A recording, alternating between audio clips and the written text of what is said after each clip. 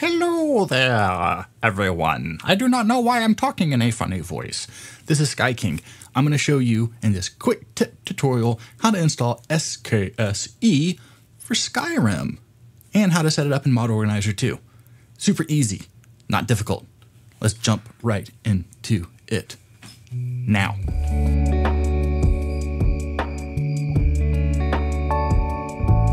First and foremost, what we want to do is we want to go and find out what version of Skyrim do we have. I'm going to show you how to do that right now.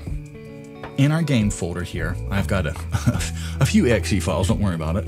Um, but if you right click and hit properties, okay, and then click details, look at this 1.5.97.0. That is the version of Skyrim that I run. Yours might be 1.6, might be 1.1, might be who knows. Okay? 1.597 is what I run. Okay? So now what we're going to do is we're going to go over to the SK, SKSE page, link in the description. And here we have the downloads. Make sure you get the right one. Okay? Special edition build 2.0.20 game version 1.5.97 pretty simple. You probably want the AE build above unless you know what you're doing. Look, I showed you how to check your version. So you get the right version for what it said in the exe file. So I'm gonna go ahead and hit download. I'm gonna open this download up. Here's the download. What I'm going to do is I'm gonna take all of this and I'm going to drag it into my game folder. Not MO2, we're not gonna install it like a mod in Mod Organizer 2. We're gonna drag it into our physical game folder. That's for, if you're on Steam, Steam Apps Common Skyrim Special Edition, and just drag the contents to where the exe file is. Very simple. I already have it in there, but I'm gonna replace it, doesn't matter. Now SKSE is in there. We can literally double click SKSE and the game will launch. But it won't help us because launching it from here, it won't recognize any of our mods because all of our mods are in the virtual data folder in Mod Organizer 2. So we're gonna go ahead and X out and X out.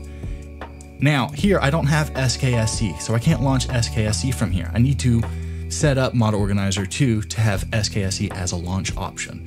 So we click our gear icons, we click the plus, and we're gonna add from file. I'm gonna go to my Skyrim Special Edition folder. Here is the new SKSE 64 loader. I'm gonna click that and hit open. Very easy. And then uh, just double check, make sure everything's fine, works great. I'm gonna put it at the top of my list, hit apply and okay. There's SKSE 64 loader. Let's go ahead and launch this puppy. And there you go. We're in the game running SKSE. Very simple to do, very quick, fun, not difficult at all. No issues there. So that was SKSE running in Skyrim. I hope you enjoyed that quick tip video and it helped you out a lot. If you do have problems, put comments in the uh, comment section below. That's what it's there for. Or hit us up in the Discord where we can really help you out. Every load order is different. It's like a fingerprint. So we can never really answer things specifically unless we have a lot of information. So Discord might be better for that. Anyway, hope this helped. Thank you very much, and we will see you all next time. Bye bye.